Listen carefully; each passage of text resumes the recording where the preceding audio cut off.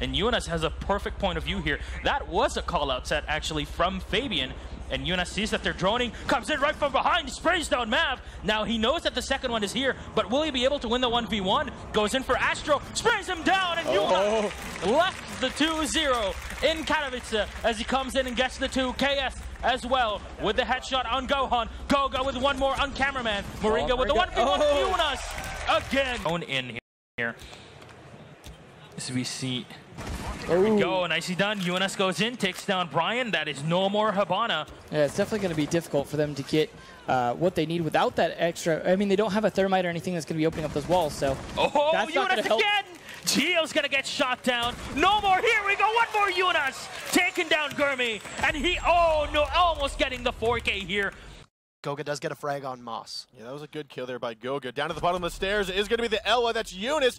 Finally takes down Shaiiko. Going to be aggressive. Goes for RX. Takes him down as well. That's also Defuser outside of Garage. It's now a three on two. 60 seconds left to go. You've got T-Pex, the Blackbeard. He's off of that balcony window. Moving down to the main floor here.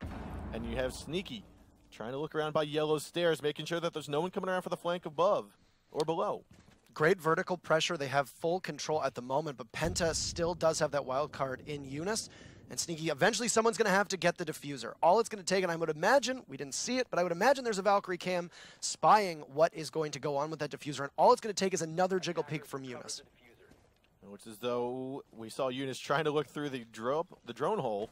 Won't spot Sneaky, but he will give away his position. There's going to be the Ela Trap. As soon as that goes goes off, Sneak is going to be the last one outside. He's going to be hitting that. This round will go to Penta unless something drastic happens here.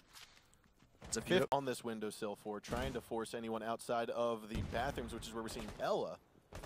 Oh, good contestant coming up here. Eunice will navigate away safely. Right on the other side of, who is that? That is Safiz. There's He's going to toss in, and it looks like a couple shots going in. Eunice tags one down. Can he get another? Oh, he's going to drop shot and pick up a 2K.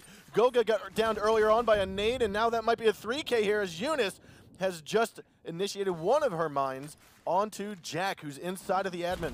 That's going to be a 3K for him. Wonderful holding down the fort here inside of the admin building. We've got two attackers left. It's all to Koxi at the top of Circle Stairs and Voy on the very top of the consulate. That was some great play by Judas. I like how he used the mine to cover his flank.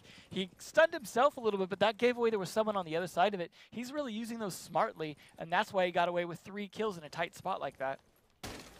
Wonderful job. I don't even know if he got hit with any bullets. He's looking like he still might have full health here. Yeah, he dives into a dead body mid-drop shot, and I think that took some of the bullets for him. God bless those dead teammates. now, we do have Voy that was on the windowsill. He got off. He's going to go underneath, most likely, head into Visa. But he has to regroup with Koxi. He's low in health as well. Not that it matters. With a 4K here. One more member to go, and it's going to be Voy, top of the circle stairs. And I think Eunice already knows this. He's going to go for a peek. He's going to grab the ace. What a start for Penta Sport.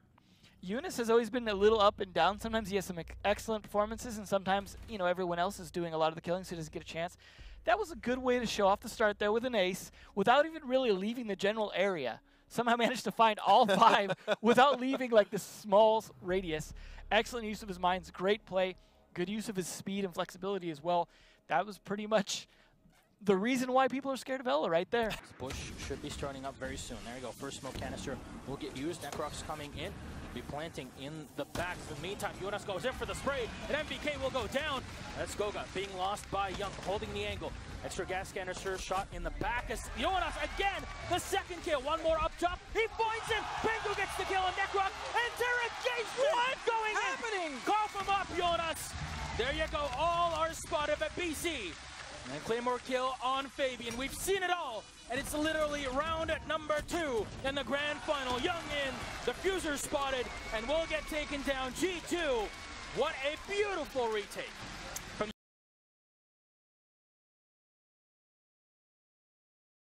the push from Empire is fascinating.